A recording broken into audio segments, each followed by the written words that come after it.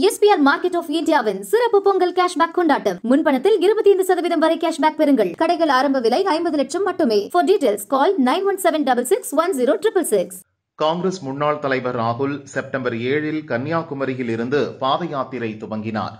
இதை துவக்கி வைத்தவர் முதல்வர் ஸ்டாலின். இப்போது பஞ்சாப் மாநிலத்துக்குள் யாத்திரை செல்கிறது. மூன்றாயிரத்து முன்னூறு கிலோமீட்டருக்கு மேல் நடந்துள்ள ராகுல் முப்பதாம் தேதி காஷ்மீரில் யாத்திரையை முடிக்கிறார். நிறைவு விழாவில் பங்கேற்க ஸ்டாலின் உட்பட இருபத்தோரு அரசியல் கட்சி தலைவர்களுக்கு காங்கிரஸ் அழைப்பு விடுத்துள்ளது. இது பற்றி தமிழக காங்கிரஸ் வட்டாரம் கூறியது.